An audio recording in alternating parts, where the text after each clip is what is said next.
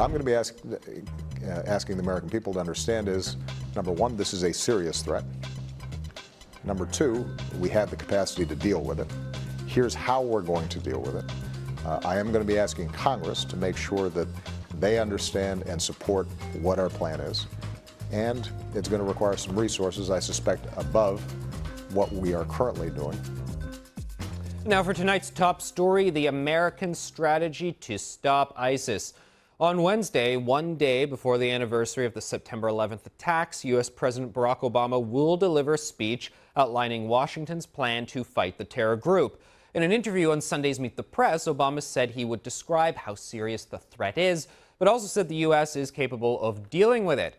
J.D. Gordon is executive director with Protect America Today and joins us now from Washington. J.D., thanks for stopping by. So it seems like Obama is really, really responding to that negative attention he got when he said no strategy. Do you think what we're going to see on Wednesday is a comprehensive strategy?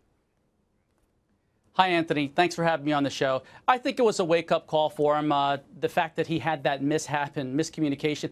I think that uh, he's going to have a good plan. I think he's going to unveil it on Wednesday. I think it's going to be broad and strategic in nature. The plan apparently is going to be in three phases. One is going to be ramped up airstrikes in northern Iraq or wherever ISIS is there. And number two is going to be intensified efforts to arm and also train, advise, and assist the Kurdish Peshmerga militia and the Iraqi military. And the third phase would be actually bombing in Syria, which I think you have to do because that's where ISIS is headquartered. So I think his plan is, is good, what I'm hearing so far. I just hope he doesn't have too many details in it because you never want to send the enemy a press release. So too much information is bad. But he's got to tell the American people what he's doing uh, so I think that uh, he's going to have a good balance, and hopefully he'll get it right. I've been arguing in columns and on television that airstrike's fantastic. Canada should should be involved as much as possible. You want to cut their knees out from, from under them, get rid of whatever means they have to do harm to us. Uh, number three, I want to talk to you a bit more about that. Even I think there's some complexity in it, but I want to go to number two there to train, advise, equip folks in the Iraqi army. How is this not just being on the ground in Iraq again, helping them. Like there's a exit strategy to that point. It, it doesn't seem like there necessarily can be an exit strategy. Right. It comes down to how do you define ground troops? The U.S. has already a thousand ground troops there in Iraq right now. They're protecting the embassy in Baghdad. They're protecting the consulate in Erbil, and they're training, advising, and assisting the Kurds, the Peshmerga militia, and also the Iraqi military. So I think if they have intensified efforts, particularly with the Kurds, if we're giving heavy weaponry to the Kurds, also via our NATO allies, there's some tricky U.S. rules to that. That is, the central government in Iraq is in charge of it getting any weapons from us, according to our own laws here. So I think that if we're working with our NATO allies, there's 10, groups, 10 countries in the coalition in this group now. So if we're working with some of them to give the Kurds the heavy weapons they need, they need artillery, they need armored vehicles, they need trucks, not just machine guns and bullets. So I think if we're working towards that, uh, it could be better than what we've seen in the past. Let's hope. But what makes you think that the same, I don't want to say mistakes that were made during Operation Iraqi Freedom and all the enduring time there, but just the lack of successes that was had during that time there that brought us to the situation where we are today? Uh, do we even know really what the isolated variables are that guarantee we're not going to be in this same place five years from now, 10 years from now?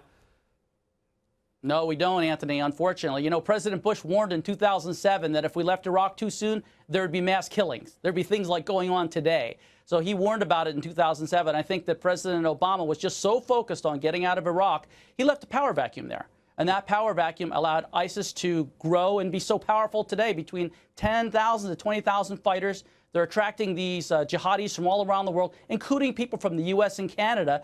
There was a guy, a young guy, a 22 years old, uh, Moner Mohammed Abu Salha from Florida, grew up there, born, in, born and raised there, grew up in a gated community, a middle class kid who liked basketball. He went over to Syria. He drove a truck to an army base full of explosives. It blew it up. So any kind of loser out there in the U.S., Canada, or Western Europe, Westerners with Western passports are very valuable to ISIS.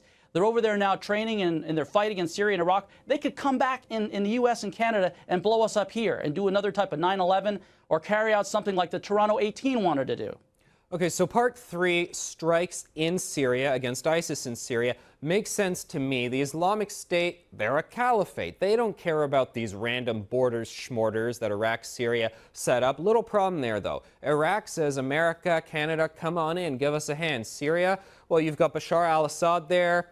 Not so hot about us coming in doing stuff there. He's going to see that as a bit provocative. How, how do we deal with that? Well, I think that we need to have airstrikes, certainly in Syria, to, to get rid of our, uh, or at least degrade and destroy to the extent we can ISIS there. I don't think we should have any troops in Syria. That's the difference.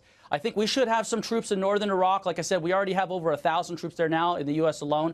And I think that uh, if we put troops into Syria, though, even if it's a small amount, they'd be very vulnerable because Bashar al-Assad might bomb them too. And so I think that uh, if you have a very small amount, just perhaps of spotters, some special forces, troops just to guide in weapons, to guide in the bombs if you need to, or to gather intelligence, that makes sense. But more than just a handful of troops in uh, Syria doesn't make any sense to me because they'd be targeted by ISIS and possibly Bashar al Assad too, even though we're doing his work for him. Well, J.D. Gordon, I really appreciate the distinctions you've drawn there, and I'm, I'm really interested to see exactly what happens on Wednesday, how the different parties respond to it. Thank you for your take.